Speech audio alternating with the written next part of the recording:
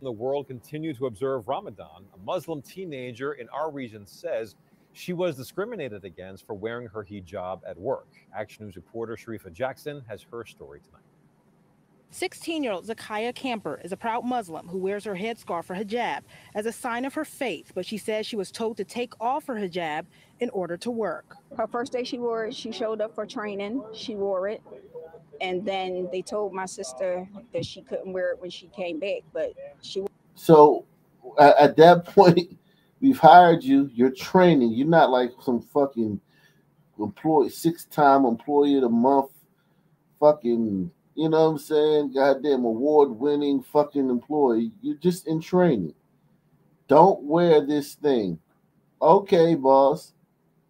Like, it's that simple.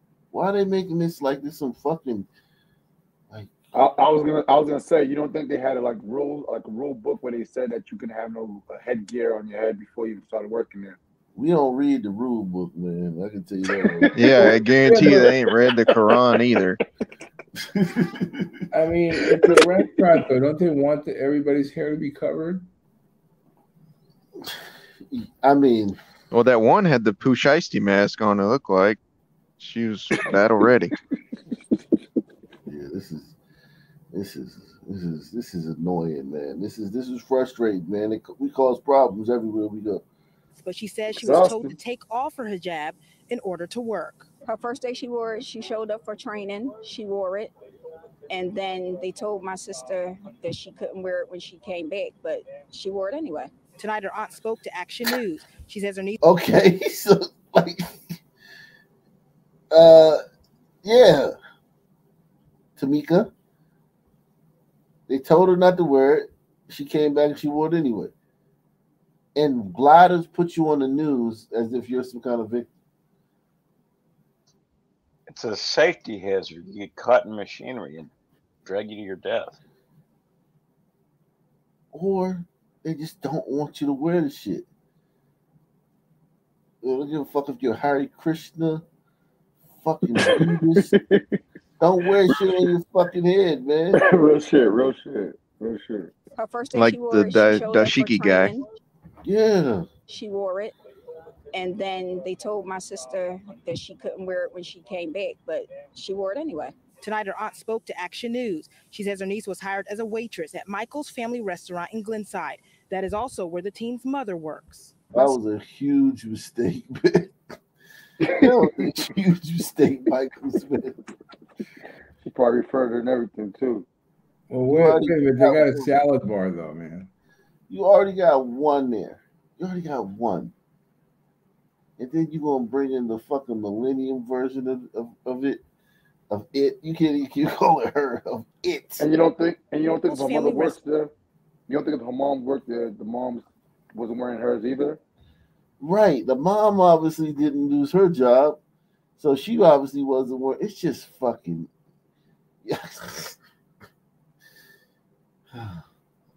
Progress. Restaurant in Glenside.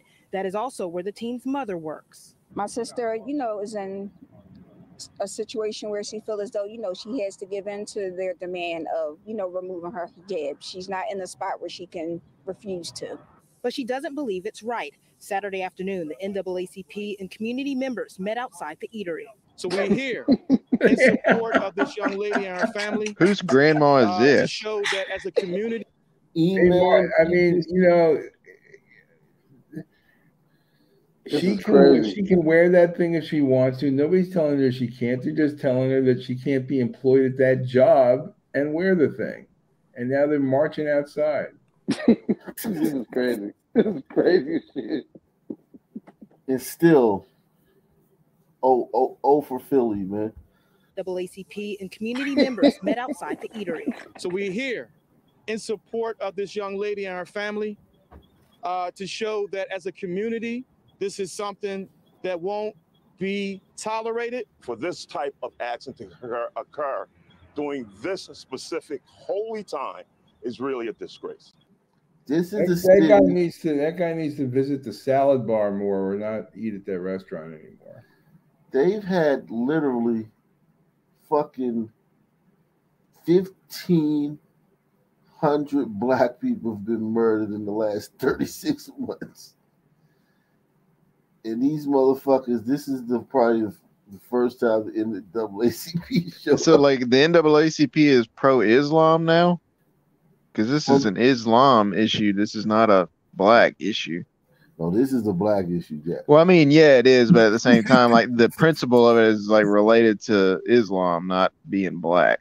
Man, But if the was- problem is, you told a black girl to do something.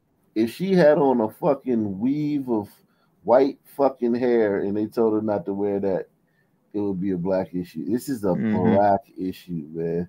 This But is, I'm just saying, like they're so stupid. They don't. They're arguing for Islam, but it's really like a black thing. It doesn't make any sense. I don't think that they mind that they see Islam as a black thing. Like a lot of black people see Islam as a black thing. They see Christianity as a white thing. Islam is the black religion and Christianity is the white religion in their mind. But also, y'all are the original Jews. and the Native Americans. Yeah, man, it is what it is, man. I know. I'm, I'm trying with my little and the glider brain to understand. The original Egyptians too, right? And Well, the I mean- Japanese. Yeah, I mean, of course we built. Of course, this group that is stumped by this problem dragged a million stones the size of a fucking office building, hundred miles without the wheel, and stacked them on top of each other. Of course, they did that. This is something that won't be tolerated. For this type of action to occur, occur during this specific holy time is really a disgrace. and Michael's Family Restaurant in Glenside released a statement saying one of their employees violated the values of their establishment and she has since been terminated. The statement also reads We are saddened that this incident disrupted the peaceful observance of the month of Ramadan. We commit to meeting with Muslim American community members to listen to them and also have our staff go through a sensitivity training Oh ensure shit! Think about if you're on the staff. Now you gotta fucking sit in a fucking um conference room and shit and read a bunch of pamphlets and shit and do a bunch of take a bullet of um PowerPoint presentation on how oh, You might end up taking a bullet too. true indeed. An incident like this never repeats. Our goal is to make them listen, to make them understand that you can't treat people the way that you want to treat them. Religion and wearing your hijab is a right. The family says they are unsure if the teen will return to work here moving forward. She does have legal representation. Reporting from Glenside, Sharifa Jackson, Channel 6, Action News. The crazy thing is, black people do the most shit to everybody, but complain the most. Like it's crazy. This is this is bizarre. This